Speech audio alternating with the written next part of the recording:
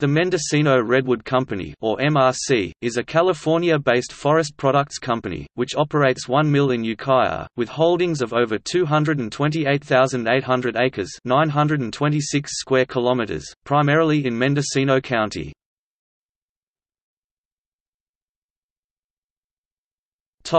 Background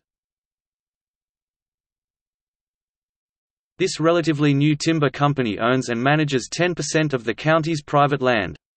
Founded in 1998, the Fisher family, founders of Gap Clothing, are the majority stake owners.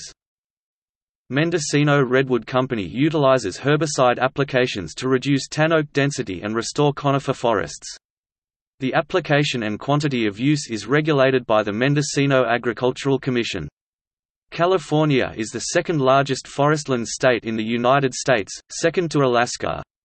Mendocino County has one of the largest percentages of the state's overall forest land.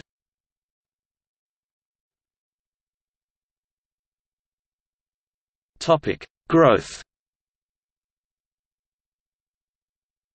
Following a July 29, 2008, final order from the U.S. bankruptcy judge Richard Schmidt, the way cleared for MRC to take control of the once storied, then vilified, and, finally, bankrupt Pacific Lumber Company in Humboldt County, California from Maxxam Inc. of Texas.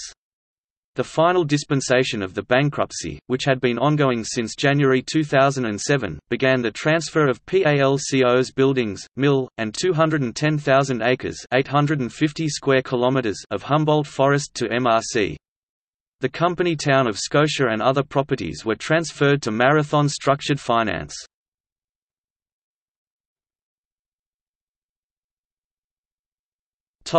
Humboldt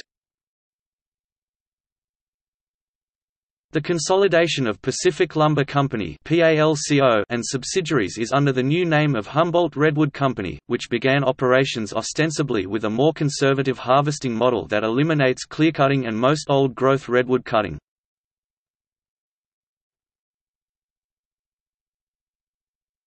Topic: Certification. Mendocino Redwood Company was given a well-managed certification of timber management practices.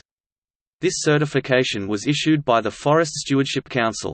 The certification study was conducted by Scientific Certification Systems.